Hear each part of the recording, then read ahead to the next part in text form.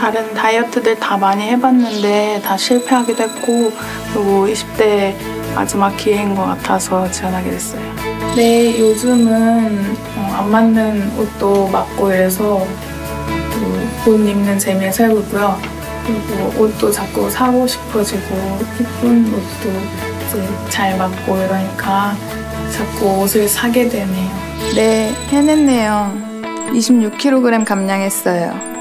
어, 그동안 진짜 많은 게 달라졌어요.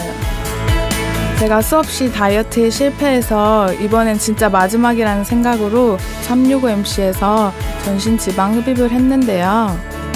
경력이나 안전성뿐 아니라 시술 후 관리까지 정말 만족스러웠어요.